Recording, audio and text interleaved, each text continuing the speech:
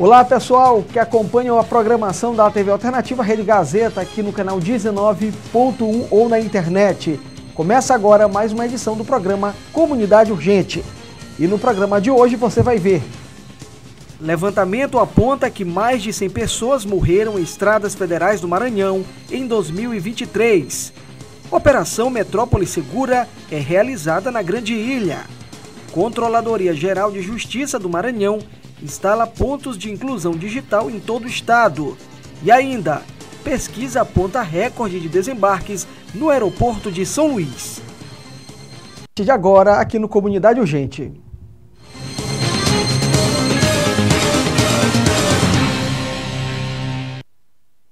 Seja muito bem-vindo ao nosso programa Comunidade Urgente. Eu sou o Wellington Oliveira e estou aqui com as principais informações do dia da região metropolitana de São Luís e do interior do estado, para você que acompanha o nosso programa. Aliás, muito obrigado pela sua audiência, pela sua companhia.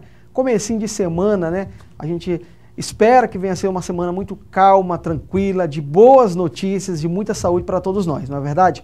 E olha, eu quero fazer um convite muito especial. Você aí do outro lado também pode participar com a gente. Eu vou explicar como. Se você vê algum problema aí no seu bairro, na sua cidade, né, você pode é, registrar, pode ser foto, vídeo, áudio, mensagem, qualquer denúncia. Depois que você fez o registro, manda para a gente. 982 37 80 28.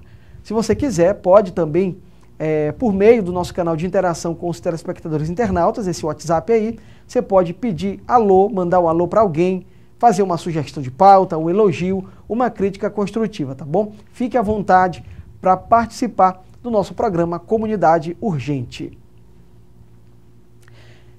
E olha, a gente começa o nosso programa mostrando os estragos causados pela chuva na tarde desta segunda-feira. Olha só, a gente observa agora uma imagem feita aí na estrada do Ribamar, estrada aí de caminho a São José de Ribamar. Olha só, um problema crônico, antigo até. A gente acompanhou, noticiamos aqui no Comunidade Urgente, agora você vê aí é o EMA, Aí a rotatória ali, acesso à cidade operária e região, também passou recentemente por obras da Prefeitura de São Luís. Tem também alguns vídeos aí que recebemos ao longo aí dessa tarde de estragos causados aí pela chuva. Foi um temporal em alguns pontos da Grande Ilha, muitos transtornos, engarrafamentos, né, é, é, muitos alagamentos. É, inclusive, a gente recebeu uma informação de que uma pessoa foi arrastada pela força da água ali no bairro Jardim América na região da cidade operária. Aí você vê a imagem da, do mercado central, outro problema antigo. Quando chove, a mesma situação. Até parece que essas imagens são de reprise, né? Mas não, foi desta tarde, segunda-feira, é, você observando aí é o São Cristóvão, né? São Cristóvão. Então, assim, vários pontos de São Luís, né, da Grande Ilha, aliás, tomada. Estrada da Mata, aí, Estrada da Mata em São José de Ribamar, além da água lixo, né, bastante lixo acumulado ali num ponto, o motociclista aí tendo dificuldade para passar. Então, problemas aí causados pela chuva, transtornos aí, e a gente sempre né, pede aqui para que o governo do estado é, e as prefeituras possam é, fazer um acordo, né, fazer aí uma, é, juntos, dar as mãos para tentar ou solucionar né, esses problemas aí que já são bastante antigos. Eu citei, por exemplo, ali na, é, Estrada de Ribamar. E o governo, outro, outro dia, até colocamos aqui no ar, o governo fez um trabalho ali, anunciou que estava sendo é, solucionado o problema de alegamento no ponto que dá entrada ali ao bairro da Maiobinha e também ali da Vila Quiola, por ali, depois do shopping Pátio Norte, mas o problema não foi resolvido. A chuva veio para anunciar isso nessa tarde. Então, a gente mais uma vez pede aqui, né, para que o governo do estado, para que as prefeituras possam aí se unirem, né? E solucionar o problema, porque eu tenho certeza que você aí, minha amiga, meu amigo, você que está assistindo o nosso programa agora já está cansado de ver isso. Toda vez que chove, né, uma, uma chuva inesperada na tarde desta, desta segunda-feira. Toda vez que chove, a cena é a mesma.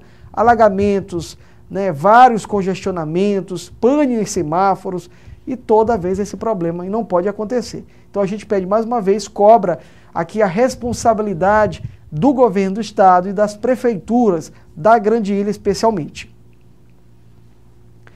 Olha, mudando de assunto agora, um levantamento da Polícia Rodoviária Federal apontou que em 2023 mais de 100 pessoas né, perderam a vida em acidentes nas estradas federais que cortam o estado. Vamos ver na reportagem.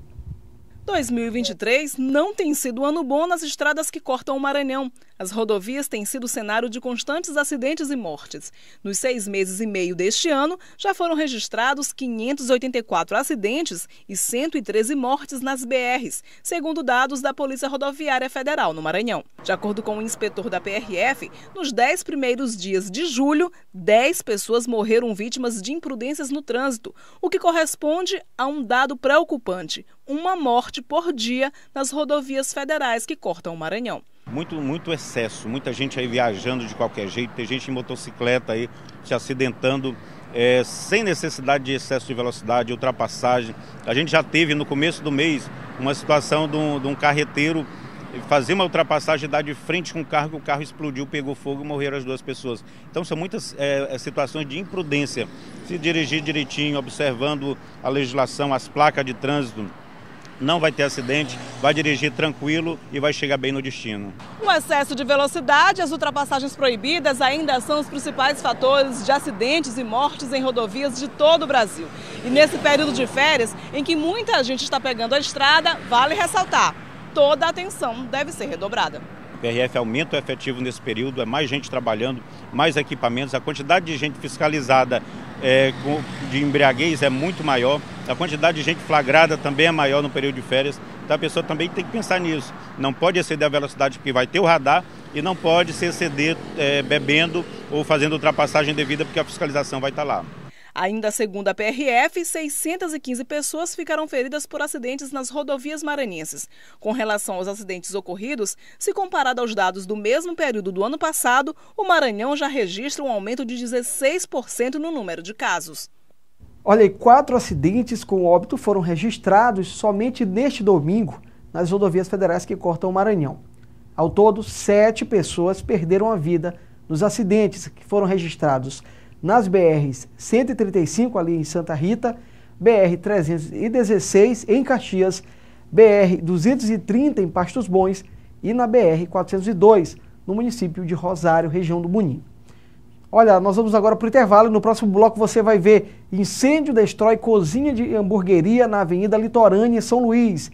E você vai ver também Operação Metrópole Segura realizada na Grande Ilha. Não sai daí que eu volto em instantes.